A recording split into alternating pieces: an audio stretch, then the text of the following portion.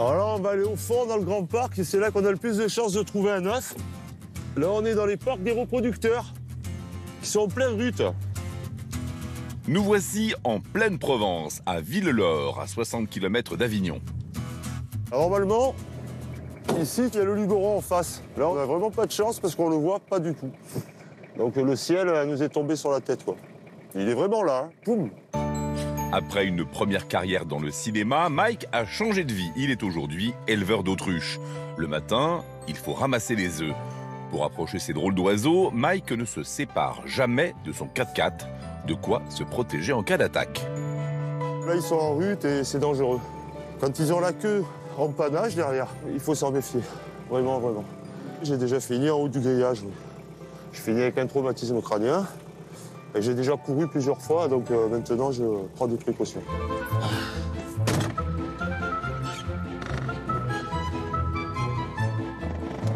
Ah, il y en a un là-bas, regardez Vous le voyez là? Celui-là, c'est du direct. Ah. Voilà l'œuf. L'œuf de poule, ça fait 70 grammes, ça, ça fait 1,5 kg. Les bonnes femelles font un œuf tous les deux jours. Pour vivre de son élevage, Mike vend les œufs 25 euros pièce et aussi la viande entre 30 et 50 euros le kilo. Les élevages d'autruches se sont multipliés en France dans les années 90. En pleine période de vaches folles, la demande était alors au plus haut.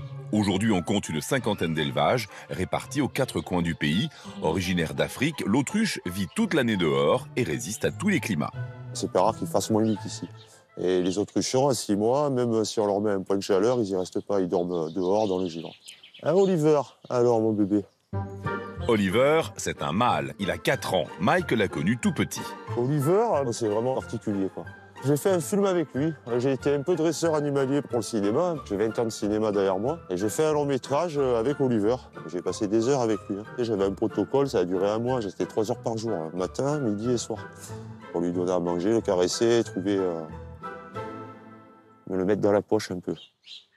Oh là là là là. Montre tes pieds. C'est avec ça qu'ils attaquent. Et c'est ça qui est très dangereux, parce qu'avec un coup de patte, ils vous coupent en deux.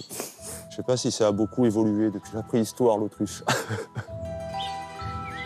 L'autruche, c'est le plus grand de tous les oiseaux. Bon, il ne peut pas voler, mais il peut courir très vite, jusqu'à 90 km/h.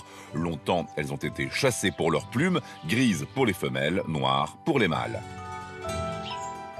La couleur noire fait que dans la nature, c'est les mâles qui couvrent la nuit.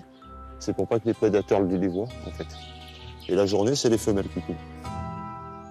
Allez, on y va. Alors les filles, et alors? Qu'il soit à plumes ou à poil, Mike comprend les animaux comme personne. Une histoire d'amour qui a commencé alors qu'il était tout petit. Alors, Histoire vraie, hein, quand j'étais petit, j'ai été enlevé par une guenon. C'est pas des conneries. Et je pense que ça a dû me marquer. Quand j'étais bébé, bébé, ils m'ont amené dans les Pyrénées voir ma grand-mère, dans un petit village qui s'appelle Marsa, et il y avait une vieille dans ce village qui avait une guenon. Et ils m'avaient laissé dans la poussette, donc c'était dans les Pyrénées, hein, c'était pas en Afrique. Et la guenon m'a pris dans le berceau et est monté en haut d'un arbre. Et il savait plus comment faire, et à un moment donné, la guenon est redescendue de l'arbre avec moi et m'a rendu euh, à ma mère. Et chaque fois qu'elle me racontait cette histoire, ma mère, qui était, elle est, elle est décédée maintenant, était très émue. Elle m'a dit que la façon dont ce- cette guenon m'a rendu, c'était très très émouvant. Quand il travaillait dans le cinéma, Mike était toujours en déplacement, mais un jour, ce père de quatre enfants décide de poser ses valises et de profiter de sa famille. Avec sa femme Christelle, ils élèvent aujourd'hui des autruches, des poules et font même pousser du safran.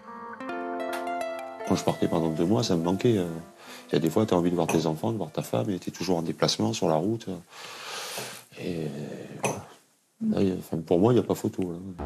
J'ai toujours eu envie d'arriver à vivre euh, de mes terres, c'est un peu une fierté. Financièrement, ça fait une grosse différence. Avant, j'étais cadre, donc euh, je gagnais bien ma vie. Donc c'est vrai que des fois, on tire un peu la langue, mais euh, bon, on se bat, on se bat, on se bat. J'ai la chance d'avoir des amis fidèles euh, qui m'aident, hein, parce que tout seul, pour tout faire, là, c'est- c'est difficile. hein.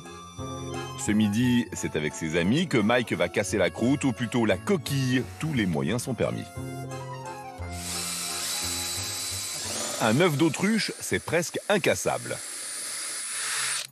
On l'a eu. Cela équivaut à environ 24 œufs de poule au menu omelette pour tout le monde. Ça se cuisine comme un œuf de poule. Par contre, c'est différent en texture. C'est très très léger. C'est-à-dire si vous faites par exemple une brouillade avec un œuf de poule, ici en Provence, on appelle ça estouffigare. Ça veut dire que très vite, vous l'avez sur le ventre. Un œuf d'autruche, c'est étonnant, c'est très léger. Jamais à court d'idées, Mike construit aujourd'hui une cabane suspendue pour permettre aux curieux de venir admirer les autruches au fil des saisons. Et croyez-nous, des oiseaux comme ceux-ci en pleine Provence, ça vaut le détour.